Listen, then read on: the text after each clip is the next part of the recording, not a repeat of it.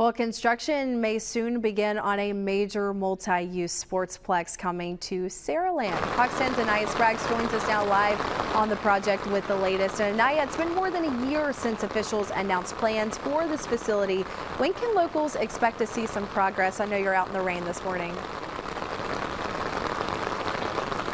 Yeah, Chelsea, I talked to Saraland Director of Parks and Recreation Ashley Flowers and Saraland Mayor Dr. Howard Rubenstein this morning. Both say a formal groundbreaking should happen within the next two months.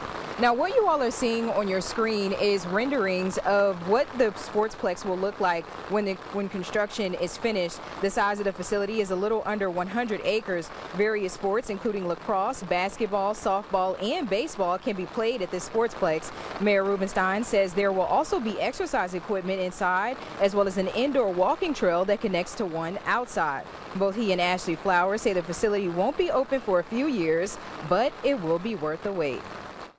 We are very excited. I think the, our Sportsplex project is going to be an absolute wonderful thing for our community, uh, the facilities and the uh, opportunity, the, the activities. It's, it's just going to be incredible.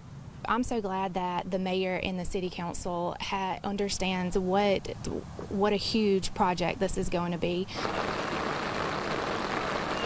Mayor Rubenstein says the city plans to have a groundbreaking in November. The first phase of the project, which includes installing fields, should be done by November of next year, and the full facility should be open by spring of 2025.